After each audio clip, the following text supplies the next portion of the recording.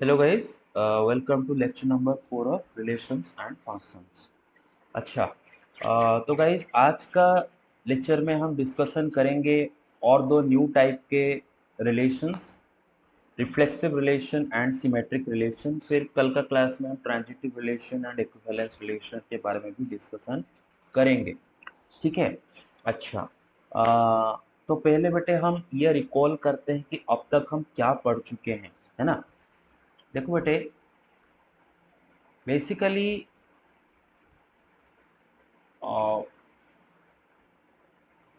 Basically बेटे दो type के रिलेशन के बारे में अब तक पढ़ चुके हैं ना? एक टाइप का रिलेशन बेटे होता है जैसे कि एक रिलेशन है from set A to set B है ना? Set A to set B एक टाइप का रिलेशन है। मतलब एक सेट ए ए के एलिमेंट्स को दूसरे सेट बी के एलिमेंट्स के साथ रिलेट करवाना जैसे कि फॉर एग्जांपल मैं एक सेट ए ले रहा हूँ उसके अंदर एलिमेंट ले रहा हूँ वन टू थ्री और एक सेट बी ले रहा हूँ जिसके अंदर एलिमेंट ले रहा हूँ फोर फाइव सिक्स और मानो एक रिलेशन है one four one six three four three five तो बेटे, ये जो रिलेशन है, ये सेट ए से सेट बी तक डिफाइंड हुआ है ना? इसमें क्या हुआ है बेटे? सेट ए का एलिमेंट वन सेट बी का एलिमेंट फोर के साथ रिलेटेड है एंड सिक्स के साथ रिलेटेड है ना? देख सकते हो। एंड सेट ए का एलिमेंट थ्री सेट बी का एलिमेंट फोर के साथ रिलेटेड है एंड फाइव के साथ रिलेटेड है ना?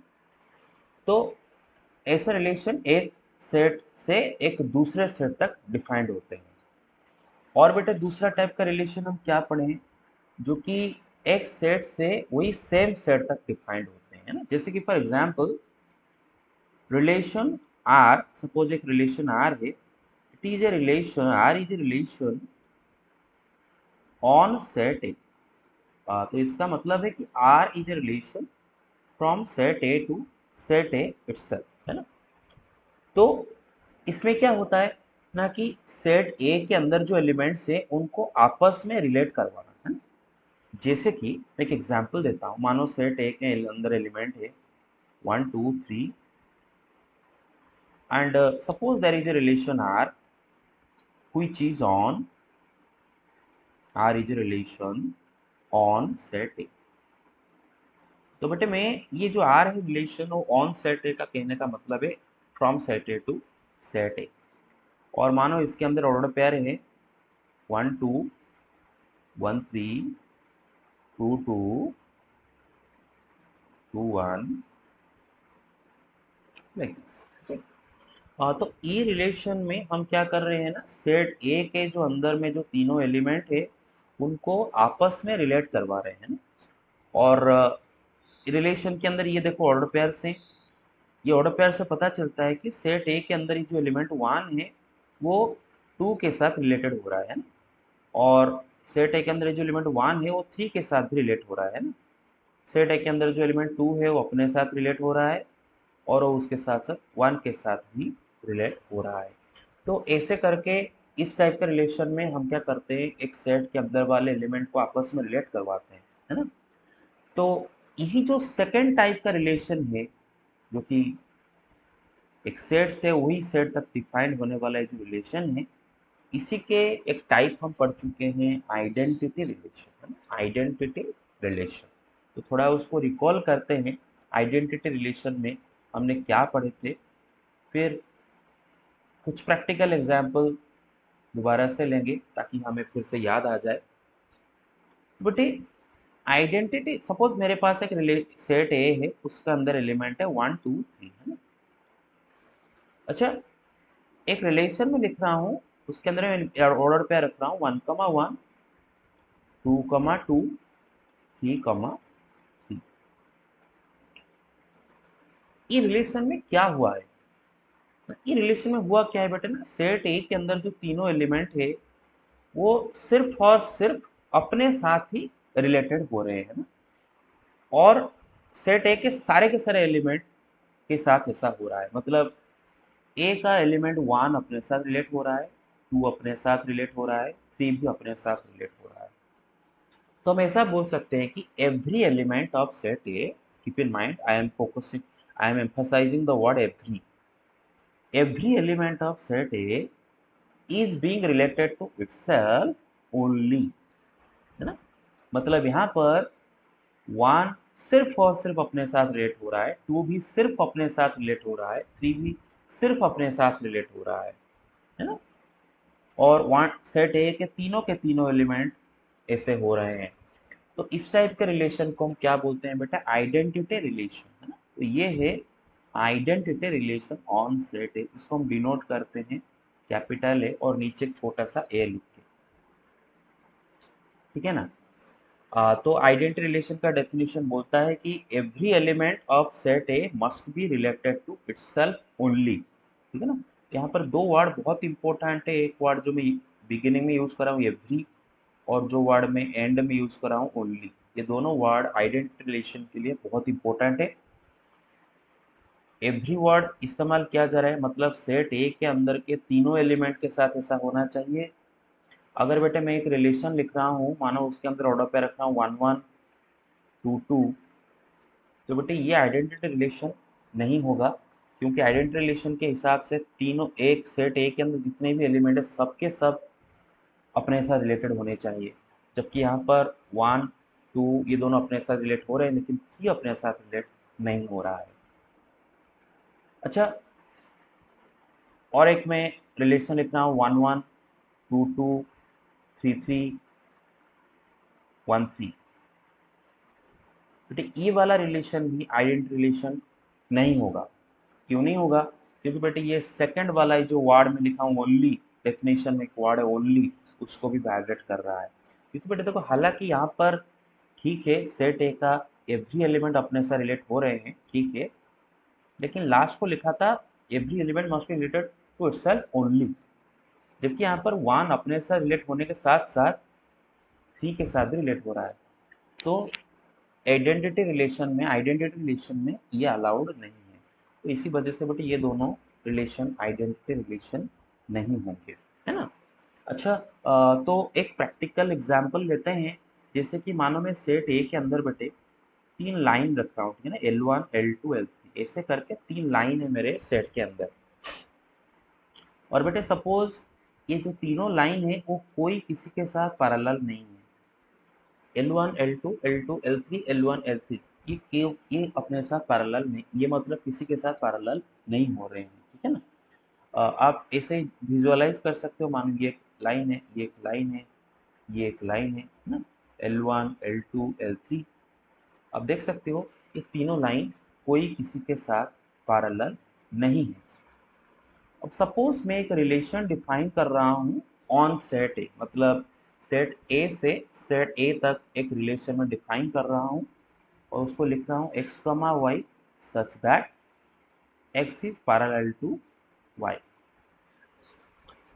बेटे, ये रिलेशन में कौन से ऑर्डर पेयर आएँगे? ठीक है ना? पहला बात है, ये रिलेशन ऑन सेट है मतलब सेट ए के जो अंदर जो एलिमेंट है, उनको आपस में रिलेट करवाना है। और कैसे करवाना है बेटे? एवरी पेयर का जो दोनों मेंबर होंगे, वो दोनों मेंबर एक दूसरे के साथ पैरेलल होने चाहिए, है ना? अच्छा मतलब फ़र्स्ट मेंबर सेकंड मेंबर के साथ पैरेलल होना चाहिए।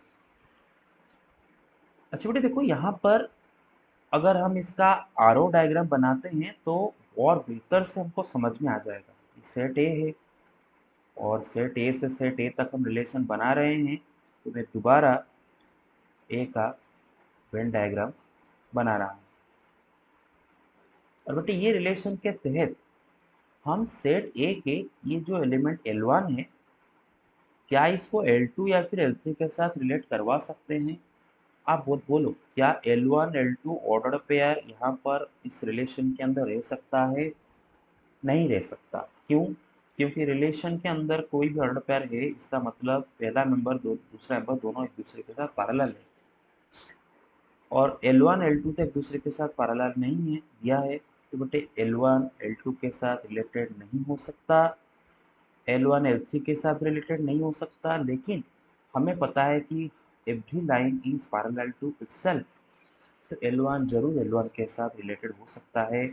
उसी आर्ग्यूमेंट से एल टू भी सिर्फ़ एल टू के साथ रिलेटेड होगा। एल थ्री भी सिर्फ़ एल थ्री के साथ रिलेटेड होगा। क्योंकि यहाँ पर बोला है कि कोई भी लाइन किसी दूसरे लाइन के साथ पैरेलल नहीं है। बट हर हाल में every line is parallel to itself ये हमें पता है। तो बेटे इसके अंदर बेटे तीन ही ऑर्डर पेयर बनते हैं L one L one L one L two L two L three L three तो ये रिलेशन के अंदर बेटे सेट ए का एवरी एलिमेंट अपने साथ रिलेट हो रहा है ना? एंड सिर्फ़ और सिर्फ़ अपने साथ रिलेट हो रहा है। तो हम बोल सकते हैं कि in this relation every element of set A is being related to itself only तो ये होता है हमारा बेटे आइडेंटिटी रिलेशन ठीक है ना? अच्छा तो बेसिकली बेटे मैं अगर आपको कोई भी एक सेट देता हूँ और उसके ऊपर मैं अगर आपको एक आइडेंटिटी रिलेशन बनाने के लिए बोलूँ तो आप बड़े आराम से खुद से बना सकते हो, है ना? देखो बेटे एनी एनी एनी मैं आपको कोई भी सेट दे दूँ, मानो एक सेट में दिया आपको ए इसके अंदर एलिमेंट है स्मॉल है स्मॉल बी और मैं बोल रहा हूँ कि you form an identity you form the identity relation on set A तो बेटे आइडेंटिटी रिलेशन ऑन सेट है को हम ऐसे सिंबॉलिकल लिखते हैं। और बेटे, आपको क्या करना है, बस सेट ए के अंदर जितने भी एलिमेंट है, उनको पेयर पेयर करके दिख देना है। मतलब मतलब सपोज़ ए बी दो एलिमेंट है ना बेटे, आपको एक ऑर्डर पे लेना है ए और दूसरा एक ऑर्डर पे लेना है बी बी हो गया।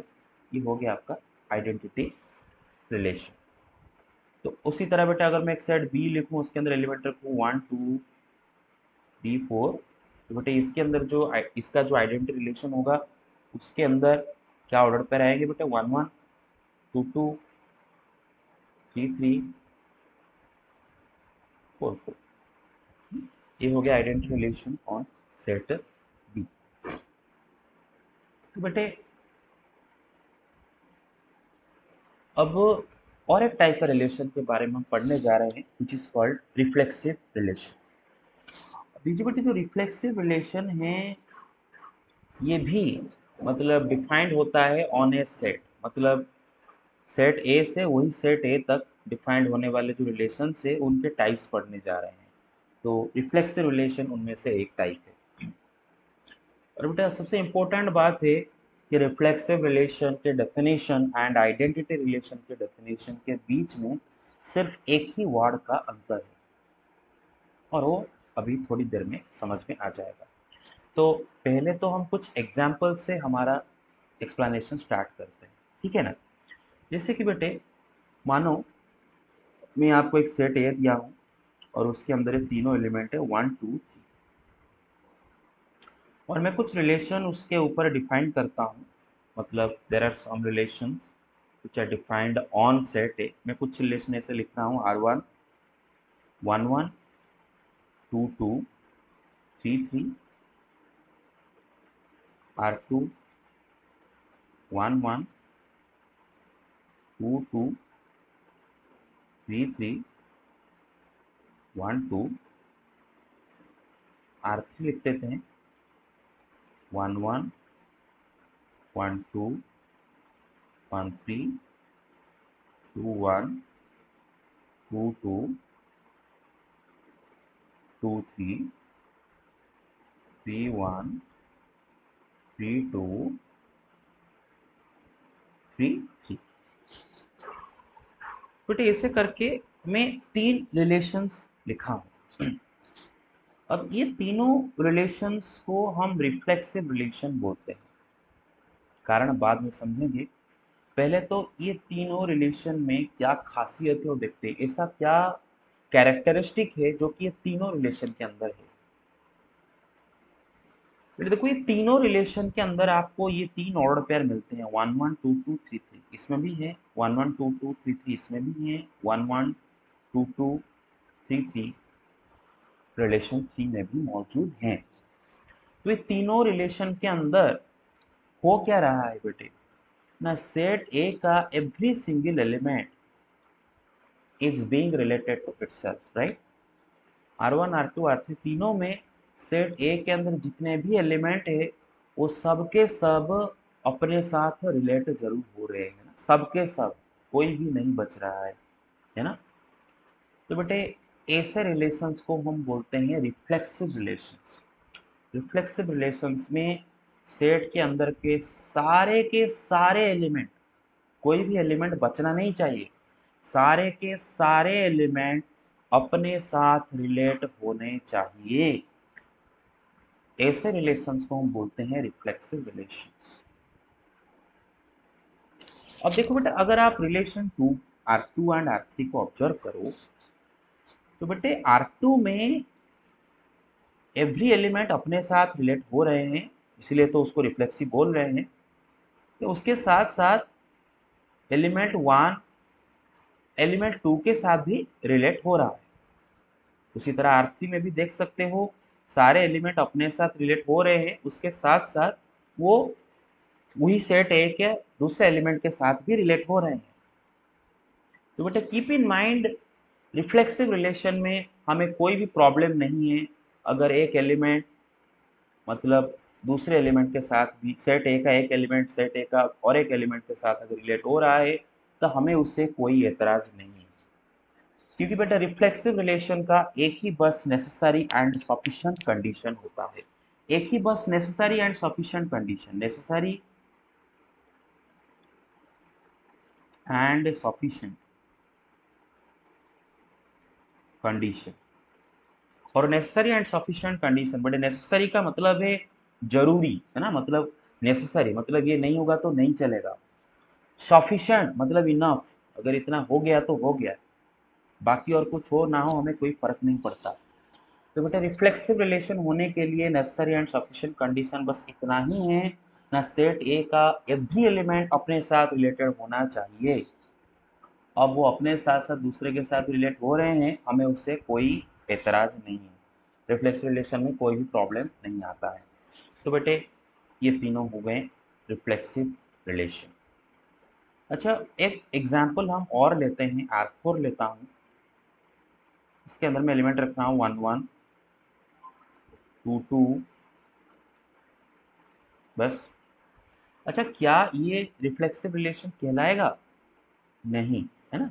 नहीं कहेगा रिफ्लेक्सिव रिलेशन नहीं होगा। बेटे रिफ्लेक्सिव रिलेशन का नेसेसरी सफिशिएंट कंडीशन क्या है? बेटे एक ही बस नेसेसरी सफिशिएंट कंडीशन है, और उतना ही है सेट के अंदर के सारे एलिमेंट अपने साथ रिलेट होने चाहिए। जबकि यहाँ पर वन अपने साथ रिलेट हो रहा है टू भी अपने साथ रिलेट हो रहा है, लेकिन थ्री रिलेट हो नहीं हो रहा अपने साथ। इसीलिए रिफ्लेक्सिव नहीं होगा, है ना? Empty relation on set A जिसके अंदर कोई भी ऑर्डर पेयर नहीं होते हैं। क्या ये रिफ्लेक्सिव होगा? नहीं, ये भी रिफ्लेक्सिव नहीं होगा, है ना? क्योंकि बेटे देखो सेट ए के जो एलिमेंट तीनों हैं, वो तीनों के तीनों अपने साथ रिलेट यहाँ पर नहीं हो रहे हैं। इसीलिए ये भी रिफ्लेक्सिव नहीं होगा। ठीक है ना?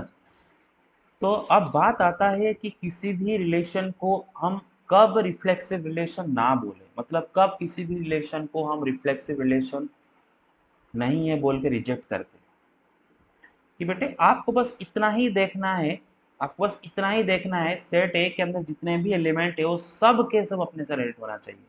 अगर बेटा आपको कम से कम एक एलिमेंट ऐसा नज़र आ गया सेट ए का जो कि अपने साथ रिलेट नहीं हो रहा है तो बेटे हो गया बात that is not a reflexive relation बस इतना ही। ठीक है ना? और रिफ्लेक्सिव रिलेशन में ध्यान रखो, एक एलिमेंट दूसरे एलिमेंट के साथ भी रिलेट हो सकता है वो वाला ऑर्डर पेयर भी हो सकता है, हमें उससे कोई प्रॉब्लम नहीं है। अच्छा एक इंटरेस्टिंग सा बात देखो बेटे जो पहला वाला रिलेशन में लिखा हूँ आर वन ये एक स्पेशल टाइप का रिलेशन है जो कि ऑलरेडी हम इसके बारे में पढ़ चुके हैं। It is what it is identity relation है ना आइडेंटिटी रिलेशन में देखो, यही तो होता है ना। One one two two three three identity relation में होता है है ना? सेट ए के अंदर के सारे एलिमेंट अपने सिर्फ़ और सिर्फ़ अपने साथ रिलेट होते हैं। उसी को हम बोलते हैं आइडेंटिटी रिलेशन तो बेटा, आप देख सकते हो कि identity relation is also a reflexive relation identity relation भी एक रिफ्लेक्सिव रिलेशन होता है। But vice versa is not always true एक रिफ्लेक्सिव रिलेशन समय हमेशा आइडेंटिटी नहीं होगा। जैसे कि फॉर एग्ज़ाम्पल आर टू एक रिफ्लेक्सिव रिलेशन है। लेकिन क्या आइडेंटिटी रिलेशन है? नहीं है। क्योंकि आइडेंटिटी रिलेशन हो, क्यों नहीं है बेटे? क्योंकि आइडेंटिटी रिलेशन के हिसाब से सेट ए का एवरी एलिमेंट सिर्फ़ और सिर्फ़ अपने साथ रिलेट होने चाहिए। जबकि रिफ्लेक्सिव में ऐसा ज़रूरी नहीं कि every element should be related itself only ऐसा कोई ज़रूरी ओनली वर्ड जो है, वो आइडेंटिटी रिलेशन के डेफिनेशन में है, लेकिन रिफ्लेक्सिव रिलेशन के डेफिनेशन में the word only is not there तो रिफ्लेक्सिव रिलेशन होने के लिए सारे एलिमेंट अपने साथ रिलेट होना ज़रूरी है, वो अपने साथ साथ दूसरों के साथ रिलेट हो सकते हैं।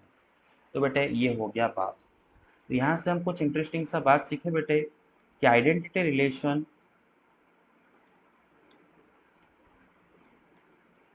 is a reflexive relation but the versa is not always true. अच्छा और एक इंटरेस्टिंग सा बात है बेटे, आप देख सकते हो। आइडेंटिटी रिलेशन बेटे, उसके अंदर ऑब्वियसली सेट के अंदर अगर तीन एलिमेंट है तो उसके ऊपर जो आइडेंटिटी रिलेशन बनता है, उसमें तीन ऑर्डर पेयर या फिर तीन एलिमेंट आ जाते हैं ना? और बेटे आइडेंटिटी रिलेशन के जो एलिमेंट हैं या फिर जो ऑर्डर पेयर हैं, बेटे, वो यहाँ पर जैसे कि बेटे one one two two three three है, ये तीनों ऑर्डर पेयर आर टू में भी है आर थ्री में भी है। तो किसी भी रिलेशन को रिफ्लेक्सिव होने के लिए ये तीनों ऑर्डर पेयर उसके अंदर होना मतलब मतलब होना ही है। अगर ये तीनों ऑर्डर पेयर में से कोई भी एक ऑर्डर पेयर मिसिंग है तो बेटा हम उसको रिफ्लेक्सिव नहीं कहेंगे। ठीक है ना?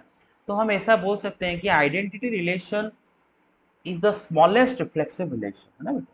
आइडेंटिटी रिलेशन सबसे छोटा रिफ्लेक्सिव रिलेशन होता है। क्योंकि बेटा यहाँ पर जो आइडेंटिटी रिलेशन की इसके इसके अंदर जो तीनों ऑर्डर पेयर हैं, वो तीनों के तीन ऑर्डर पेयर हर रिलेशन के अंदर चाहिए उसको रिफ्लेक्सिव होने के लिए। तो हम बोल सकते हैं कि identity relation identity relation is the smallest, reflexive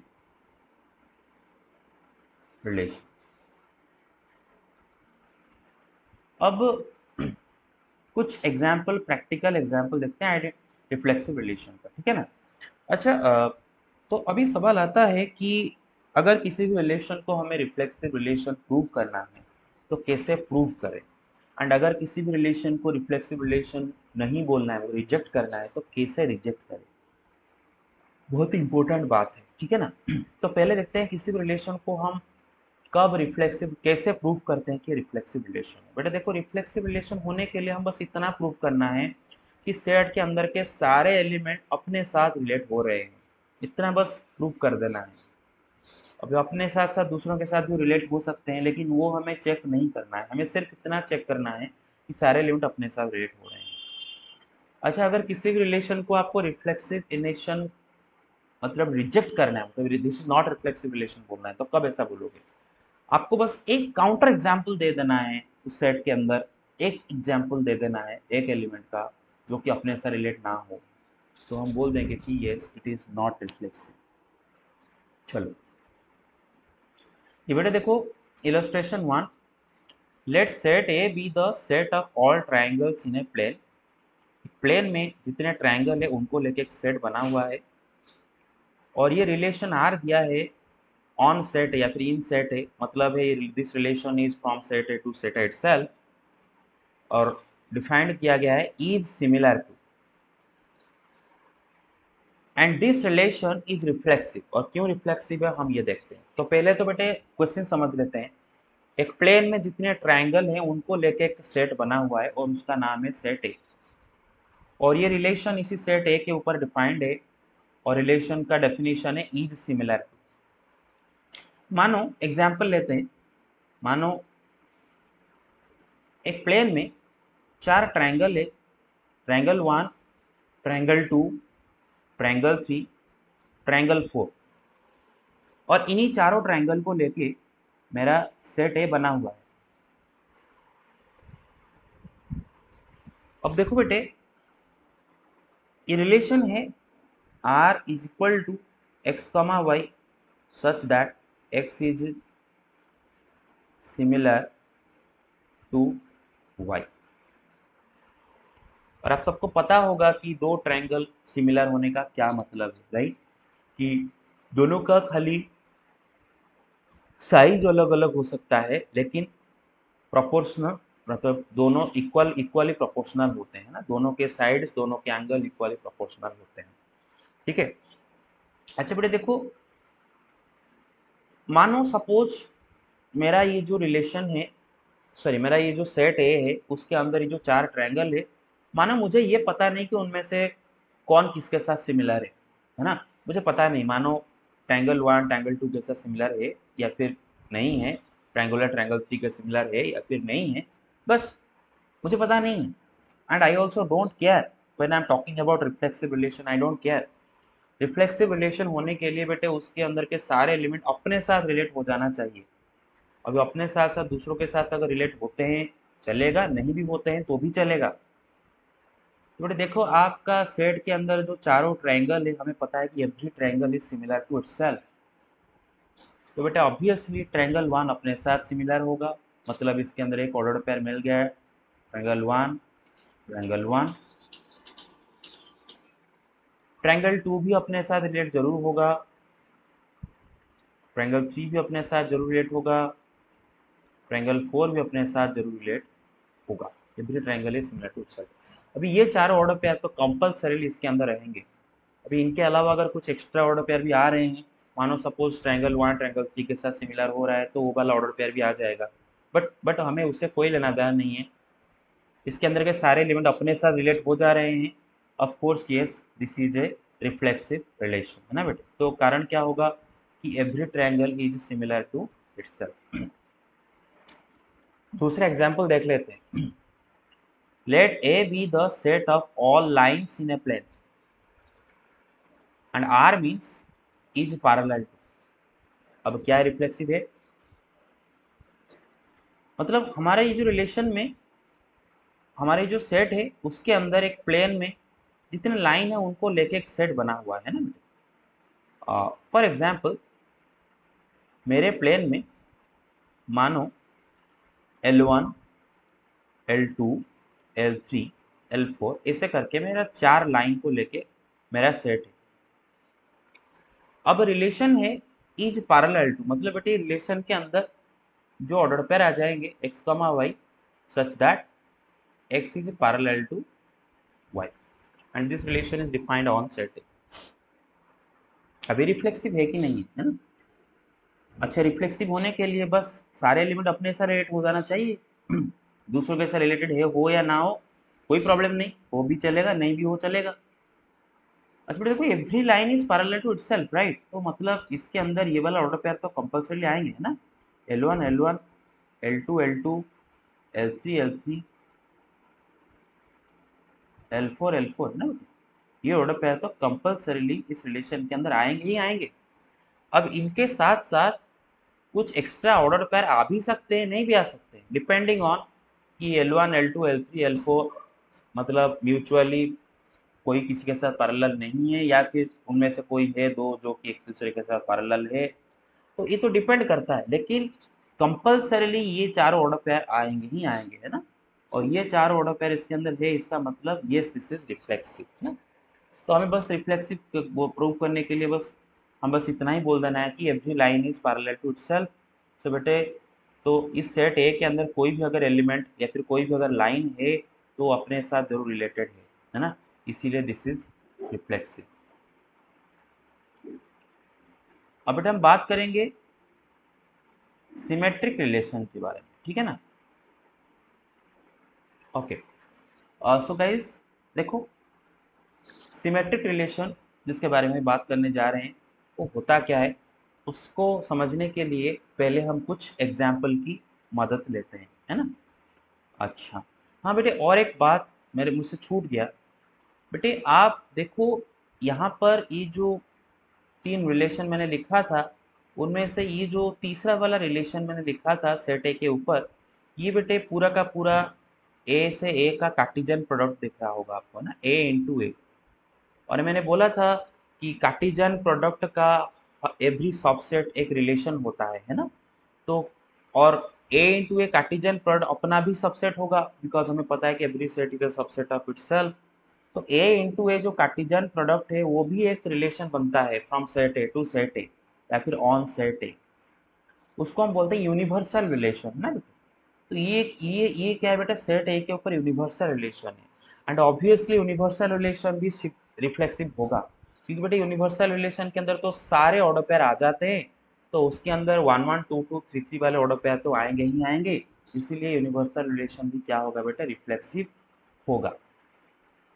अब सिमेट्रिक रिलेशन का रिलेशन को समझने के लिए कुछ एग्ज़ाम्पल की मदद लेते हैं, ठीक है? मानो मेरे पास एक सेट ए है, उसके अंदर एलिमेंट है one two three one two three और मैं कुछ रिलेशन ले रहा हूँ। One two two one R two one one one two two one R three one one two two three three R four one two two one two two three three one three three one ये कुछ मैंने relations लिखा हूँ set A के ऊपर। और ये जो चारों रिलेशन है, इनको मैं बोलता हूँ सिमेट्रिक रिलेशन अब क्यों सिमेट्रिक रिलेशन बोलता हूँ, थोड़ी देर में देखेंगे। फ़िलहाल, अब देखते हैं कि इनके अंदर ये चारों के अंदर क्या एक कॉमन कैरेक्टरिस्टिक है? क्या हो रहा है ये चारों के अंदर? देखो बेटे, आप रिलेशन वन को जरा ऑब्ज़र्व करो। इसमें बेटे वन टू नाम का ऑर्डर पेयर है। उसके साथ साथ बेटा वन टू को अगर उल्टा दो तो टू ए नाम का ऑर्डर पेयर भी इसके अंदर है है ना बेटा? देखो।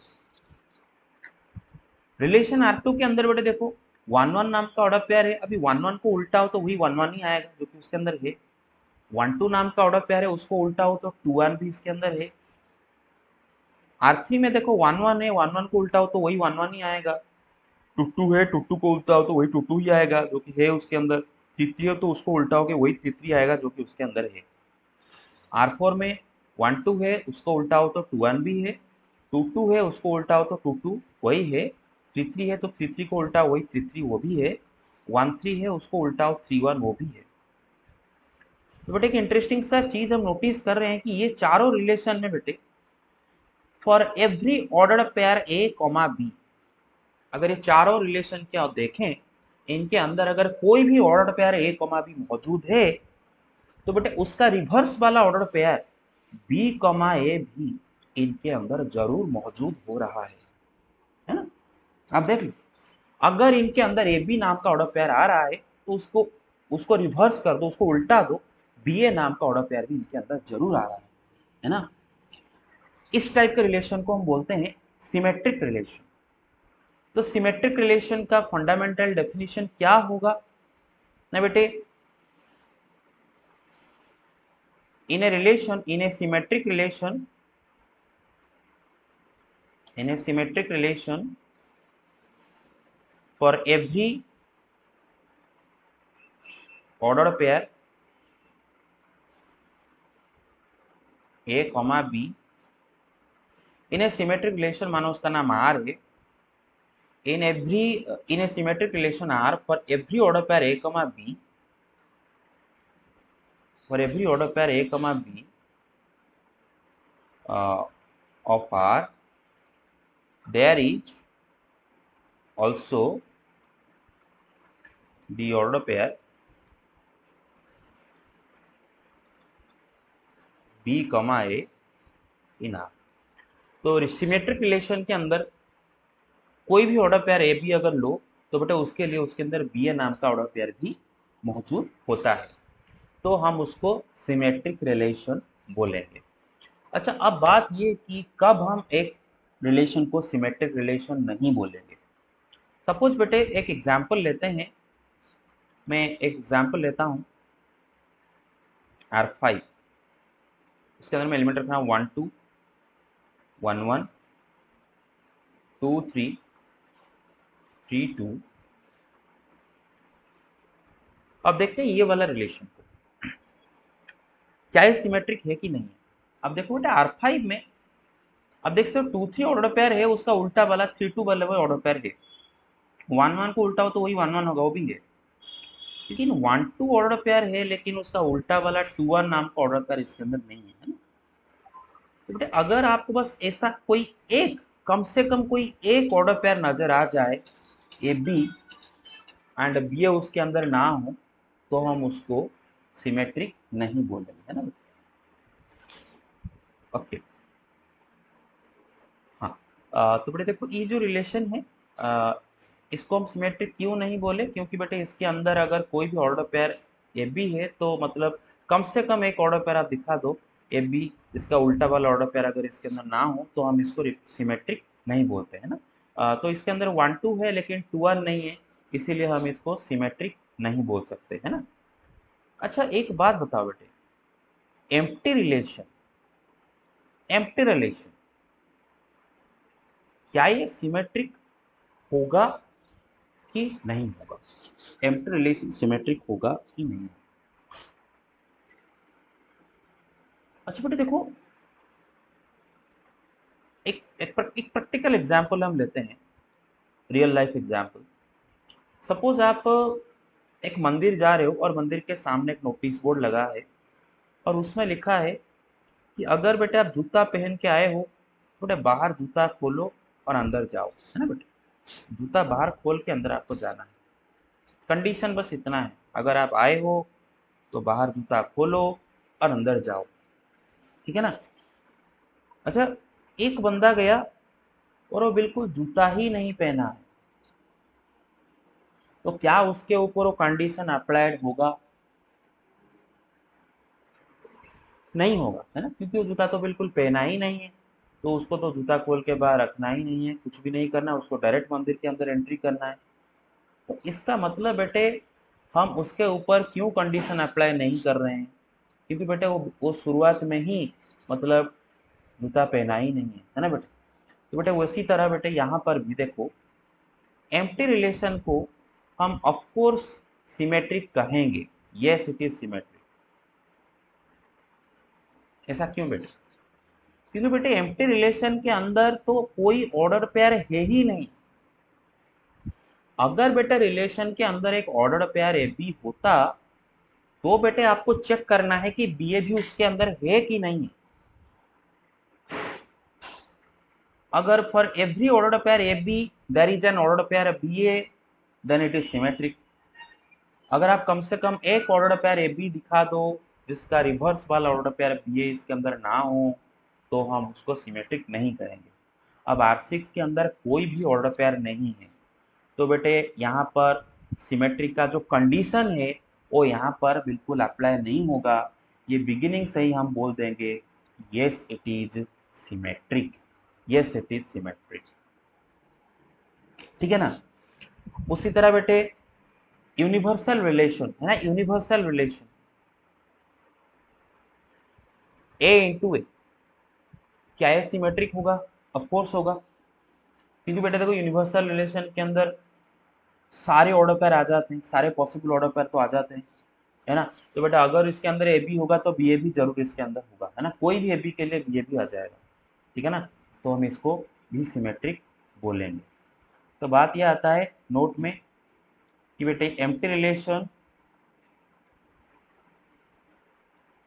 is also and universal relation is also symmetric है ना बेटे? Universal relation is also symmetric ठीक है? अच्छा आइडेंटिटी रिलेशन भी सिमेट्रिक होगा ज़रूर right identity relation is also symmetric क्योंकि देखो आइडेंटिटी रिलेशन के अंदर क्या ऑर्डर पे रहेंगे यहाँ पर one one two two three three अभी वन वन का उल्टा वन वन है टू टू का उल्टा टू टू है थ्री थ्री का उल्टा थ्री थ्री है। तो उसके अंदर है है ना? जैसे कि ये वाला आइडेंटिटी रिलेशन है। और बेटे ये सिमेट्रिक भी होगा कि वन वन को उल्टा तो वही वन वन होता है टू टू को उल्टा वही टू टू होता है थ्री थ्री को उल्टा वही थ्री थ्री होता है जो कि उसी के अंदर है। तो ये सिमेट्रिक तो बेटे अब बात आता है कि आ, कुछ एग्जाम्पल्स लेके हम आ, उनको सिमेट्रिक है कि नहीं है रिफ्लेक्सिव है कि नहीं है वो सब भी चेक करते हैं आ, जो कि कल के क्लास में करेंगे। फ़िलहाल आज क्लास में सिमेट्रिक रिलेशन का एक प्रैक्टिकल एग्ज़ाम्पल लेते हैं। ये वाला एग्ज़ाम्पल और बेटे, ये एग्ज़ाम्पल को मैं यहाँ पर लिखता हूँ, आपके सामने आप देखोगे। एक सेट में ले रहा हूँ। Set of all lines in a plane और एक रिलेशन में उसके अंदर बना रहा हूँ। X comma y such that x is perpendicular to y this relation is on set अब बात यह है कि क्या ये रिलेशन सिमेट्रिक है? देखो ऑफकोर्स है। क्योंकि जरा सोचो। अगर बेटे आपके प्लेन में सपोज़ आपके प्लेन में जितने भी लाइन है, जितने भी लाइन आपके प्लेन में है मे भी आपके प्लेन में पाँच लाइन है, दस लाइन है, एक लाख लाइन है, जितने भी लाइन है, मानो उसके अंदर से दो line L one L two है L one is perpendicular to L two तो बेटे L one comma L two ये नाम का ऑर्डर पेयर आपके रिलेशन के अंदर आ जाएगा। अब आप देखो, अगर L1 L2 पर L1 L2 के साथ परपेंडिकुलर है तो ऑब्वियसली L2 भी L1 के साथ परपेंडिकुलर होगा। तो इसका मतलब अगर इसके अंदर L1 L2 नाम का ऑर्डर पेयर है तो उसका उल्टा वाला ऑर्डर पेयर L2 L1 भी इसके अंदर आ जाएगा। ऐसा कोई भी ऑर्डर पेयर अगर इसके अंदर L1 L2 आ रहा है तो उसका उल्टा वाला ऑर्डर पेयर भी इसके अंदर आ जाएगा। तो ये दिस इज़ सिमेट्रिक है ना? अच्छा ऐसा भी हो सकता है कि आपके प्लेन में जितने लाइन हो, वो लाइन में से कोई भी किसी के साथ परपेंडिकुलर नहीं है। जैसे कि मानो ये बनाया कुछ। ये मैं कुछ लाइन बनाया। भाई देखो, ये जो चार लाइन मैंने बनाई हुई चारों लाइन कोई किसी के साथ परपेंडिकुलर नहीं है। तो ऑब्वियसली बेटे, इस रिलेशन के अंदर मतलब ये चारों लाइन को लेके अगर मैं जो सेट बनाया, उसके ऊपर अगर ये रिलेशन अप्लाई करूँ तो मुझे कोई भी ऑर्डर पेयर नहीं मिलेगा। This will be an empty relation अब एम्प्टी रिलेशन भी सिमेट्रिक होता है है ना बेटे? क्योंकि अगर ए बी नहीं ए बी ही नहीं है तो आपको बी ए है कि नहीं चेक ही नहीं करना है। क्लियर और ना ऑटोमेटिकली सिमेट्रिक हो जाएगा। तो आज के लिए इतना ही करते हैं। कल का क्लास में हम एन सी आर टी के क्वेश्चंस करेंगे। ठीक है guys thank you thank you very much